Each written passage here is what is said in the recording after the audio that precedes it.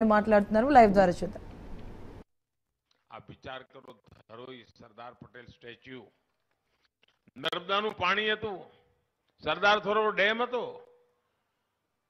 પરંતુ લોકોના ધ્યાનમાં ના આવ્યું કે આને પણ વિકસાવી શકાય ને આપણે જયારે સ્ટેચ્યુ ઓફ યુનિટી બનાવી દીધું આજે દુનિયાભરના ટુરિસ્ટો ત્યાં આવે છે જો નર્મદા સરદાર સરોવર ડેમ પર આવતા હોય તો મારા ધરોઈ પર કેમ ના આવે ભાઈ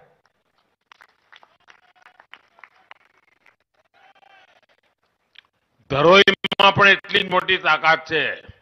અને ધરોઈથી અંબાજી સુધી આખું eco tourism adventure tourism, cycle tourism, ત્યાંના જંગલો ઉબડ ચલાવીને બહુ મોટું ગુજરાતના જવાનિયાઓને આકર્ષે એવું ટુરિઝમનું સેન્ટર બનાવવાની દિશામાં હમણાં તો મારે ભૂપેન્દ્રભાઈની સરકારને અભિનંદન આપવા છે.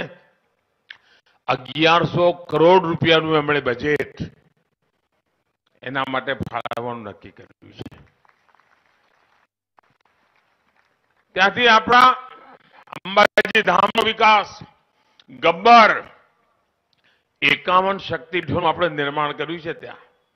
એકાવને એકાવન શક્તિપીઠોનો જે રૂપ છે, એ રૂપના સચોટ દર્શન એટલે એકાવન શક્તિપીઠોની યાત્રા કરી હોય, એવું પુણ્ય કમાવાનો અવસર મળે, એવું આપણે આ કામ કર્યું છે. અને એના કારણે ગરીબમાં ગરીબને રોજગાર મળે ભાઈઓ આજે આપણું માં નળેશ્વરીની વાત.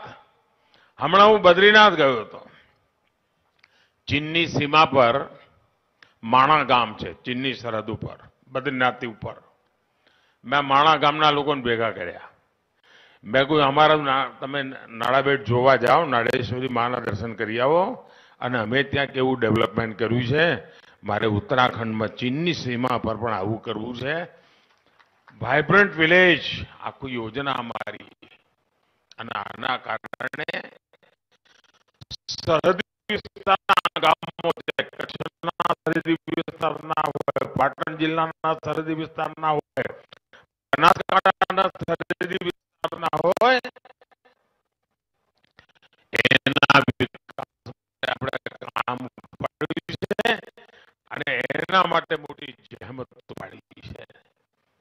એ દિશામાં આપણે કામ કરી રહ્યા છીએ.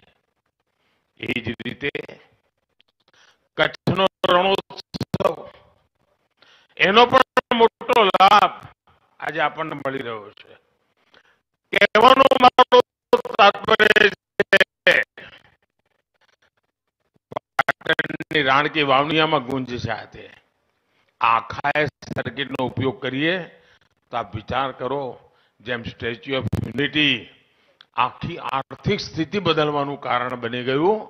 એમ પર્યટન એ આપણા આખા યા ઉત્તર ગુજરાત એમાંય ખાસ કરીને બનાસકાંઠા, પાટણ જિલ્લો અને કચ્છ જિલ્લો. આનું એવું એક સરસ મજાનું માળખું બની શકે અને એની દિશામાં આજે આપણે મોટા પાયા પર એક પછી એક પગલાં લીધા છે અને એનો લાભ જોવા મળે છે. એનો લાભ જોવાનો ચાલુ થઈ ગયો છે. એના મોટા પાયા પર આપણે કામ કરવા. અને જ્યારે ટુરિઝમ બને ને, આપણે પાંચસો રૂમની હોટલ બનાવી હોય ને તો કરોડો રૂપિયા જોઈએ. પણ આપણે હોમ સ્ટેનું એક અભિયાન ચલાવ્યું. સ્ટેચ્યુ ઓફ યુનિટી બાજુ પાંચસો ઘર એવા તૈયાર થયા છે કે જેમણે એક રૂમ ગેસ્ટ હાઉસ જેવો બનાવી દીધો છે. એના માટે સરકારે થોડી મદદ પણ કરી છે. આજે પાંચસો ઓરડા રૂમ લોકોના ઘરોમાં લોકોને રહેવા માટે મળે છે. એના કારણે એને કમાણી થાય છે. ચા, નાસ્તો, ભોજન ઘરનું ખાવાનું મળે છે. અને ફરવા જવાની કેટલાક લોકોએ તો હોમ સ્ટેની સાથે સાથે ટેક્સી પણ રાખી લીધી છે. એટલે પોતાના ત્યાં જે મહેમાનો ઉતરે, એને પાછી ટેક્સી આપેલી બધાને ફેરવી પણ આવે. આખો મોટો એક નવો વ્યવસાય સ્ટેચ્યુ ઓફ યુનિટીની બાજુ બાજુ ગોઠવાઈ ગયો છે. તમે વિચાર કરો, આપણા અહીંયા શું નથી ભાઈ?